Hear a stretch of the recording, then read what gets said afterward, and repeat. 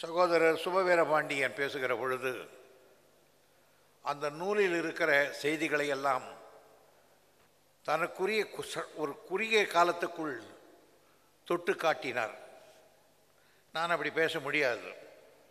ஏன்னா எனக்கு புக்கை கொண்டாந்து கொடுக்குறேன்னாரு இளங்கோ. கொடுக்கவே இல்லை. அப்புறம் நான் எதை வச்சு பேசுறது? இளங்கோவை பற்றி பேசலைன்னார் பாலு. இதுதான் பேசணும். இதான் டீ. இதான் இளங்கோவன் புக்கு வருது புக்கு வந்து வந்துடனே வந்துடுனே கடைசி வரலையும் வரல. இப்போ தான் வந்து கொடுத்தாங்க அதையும் பையில் பையில் கொடுத்துட்டேன். பட் இருந்தாலும் டி கே சீனிவாசன் என்கிற ஒரு மாமனிதரை பற்றி பேசுவதற்கு வாய்ப்பு கிடைத்ததில் எனக்கு மற்றற்ற மகிழ்ச்சி.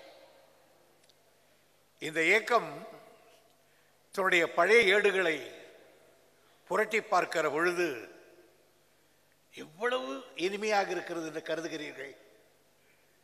திராவிட கழகத்தின் சார்பில் அல்லது வேறு இயக்கத்தின் சார்பில் அவர்கள் எல்லாம் நூல்களை வெளியிட்டு கொண்டிருக்கிறார்கள். அவர்கள் வெளியிடுகிற நூல்களை உடனடியாக நான் வாங்கிவிடுவேன் நான் ஒன்று தான் பாக்கி. இவரை பற்றி வந்திருக்கு. அண்ணன் வீரமணியார் பற்றி அது வாங்கலை.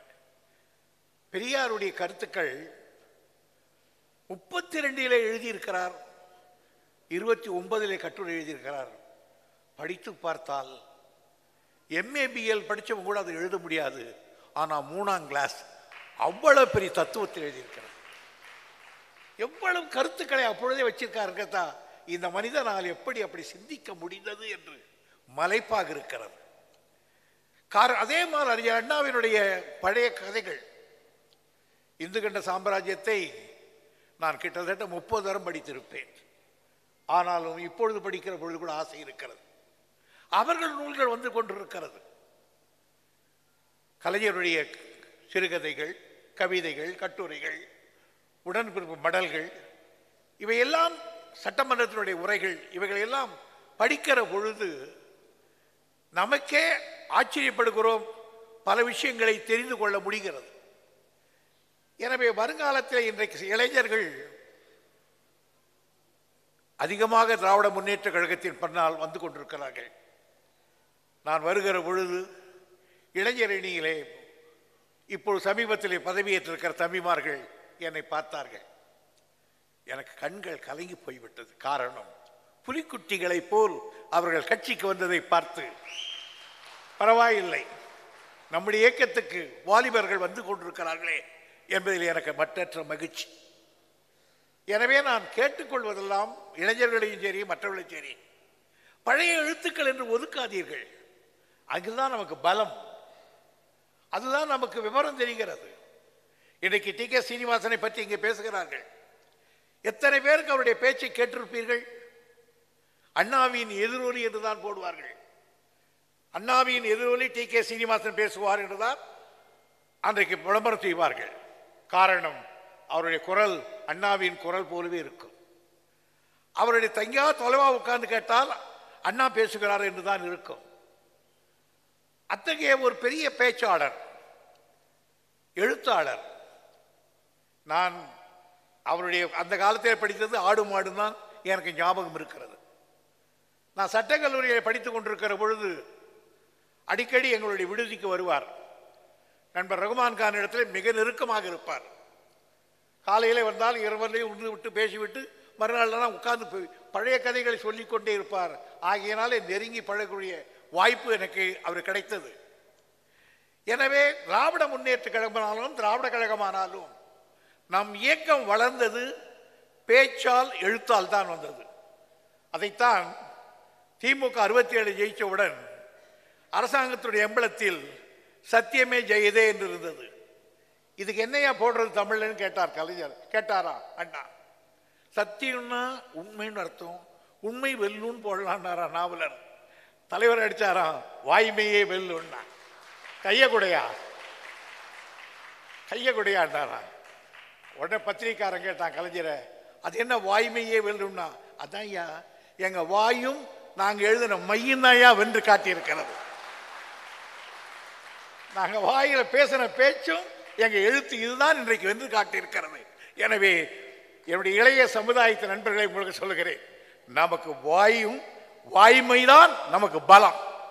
இதை வெல்லுவதற்கு எந்த கோப்பருக்கும் அருகதை கிடையாது தமிழ்நாட்டில்.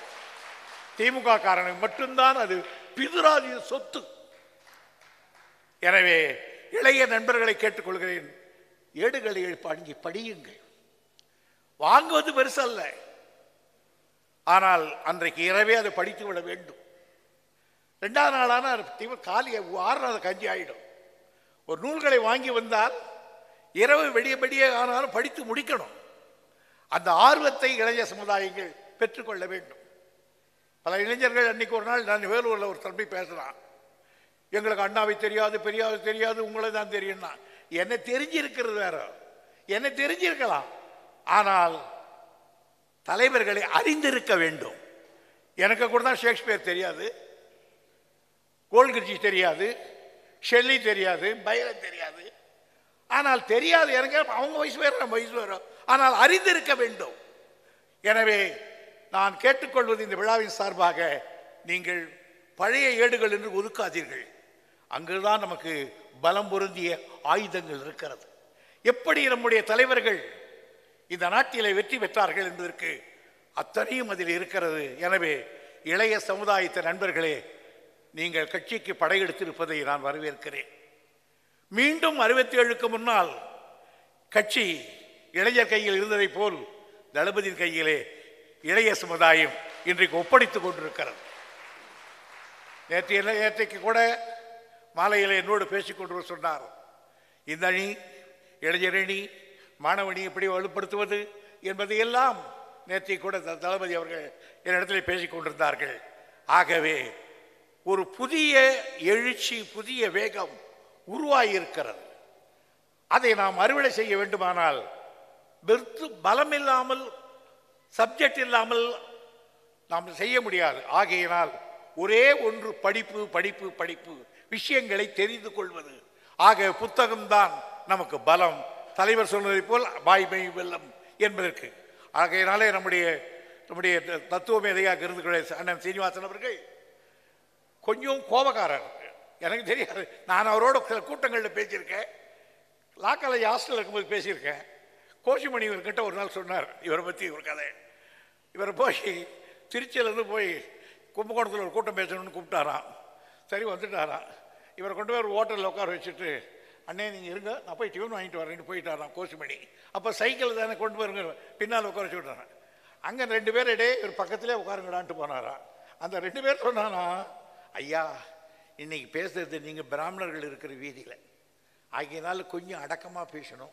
கொஞ்சம் அதிகமாக பார்க்கலாதுன்னாரான் கொஞ்ச நேரத்தில் நீங்கள்லாம் இங்கே இருக்கும் வரேன்னு அவர் பாட்டுக்கு இறங்கி போய் பஸ்ஸு பிடிச்சிட்டாரா.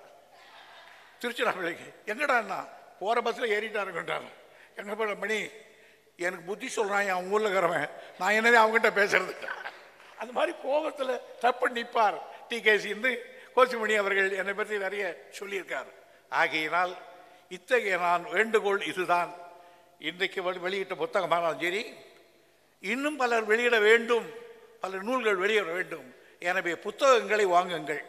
வாங்குவதல்ல படியுங்கள். அதுதான் உங்களுக்கு பலமாக நிற்கும் என்பதை எடுத்து கூறி வாய்ப்புக்கு நன்றி தெரிவித்து விடைபெறுகிறேன். நன்றி வணக்கம்.